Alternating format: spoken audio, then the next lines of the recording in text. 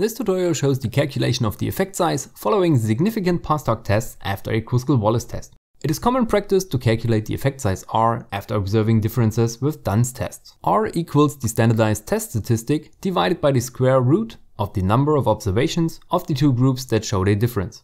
We can easily do that by putting the results of the Dunn's test into a vector, which I call D.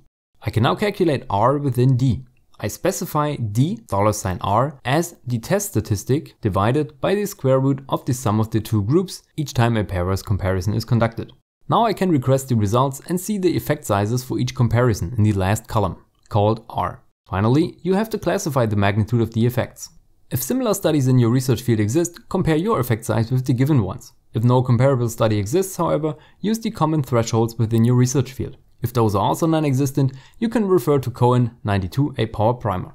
Page 157 shows three thresholds for the effect size R. If it exceeds 0.1, it is a small effect, if it exceeds 0.3, it is a medium effect, and if it exceeds 0.5, it can be classified as a large effect, as is the case in my example. When you're done, you have to write up the results. The video that appears now will show you how.